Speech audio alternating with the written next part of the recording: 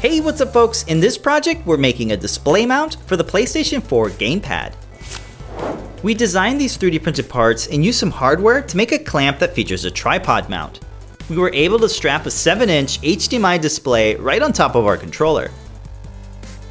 We think it's a pretty cool way to play games, especially if you need to be discreet about it.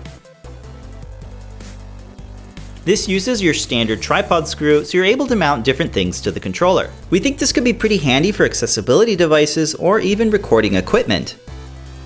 The clamp has space for the touchpad so you can still click the button. There's also a hole for the menu button in the middle of the controller. It's a GoPro compatible mount so you can attach different accessories. The clamp flexes open to fit over the gamepad and it uses a screw and a lock nut to secure it in place. You can adjust the viewing angle by tightening or loosening the screw knob. A D-ring tripod screw makes it easy to swap out different devices. The parts can be 3D printed in PLA filament and we designed them to print without any support material. You can get the list of hardware from the link in the description of this video. The CAD assembly is pretty easy to put together and it features a modular design so we can reuse it for future projects. I used a 3D model to reference how the parts need to form around the shape of the gamepad. It's available to download so be sure to check it out in the Learn Guide. So if you're looking for a new way to enhance your gaming sessions, I hope this inspires you to DIY your own projects.